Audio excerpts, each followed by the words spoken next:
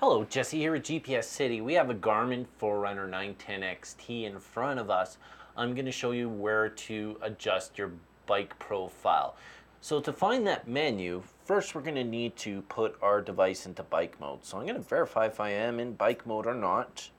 It looks like I'm not in bike mode, I'm in running mode. So hold in mode for a couple seconds or more. Select the sport you want to do, hit enter, we're going to change bike 1. So let's select bike 1. And now let's go down to settings, enter. And then into bike settings. And then we're going to scroll down to bike 1. So right here. So now we can adjust bike 1. So we have our bike details at the top here. If we go into there, hit enter. We could change the weight and the odometer of the bike.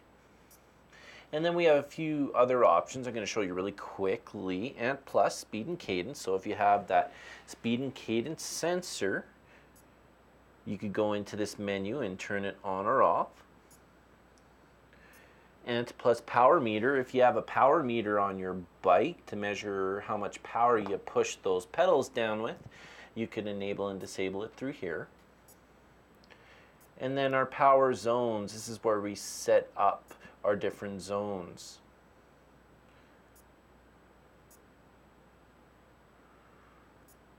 And then enter our zones right here and you'll see the various zones.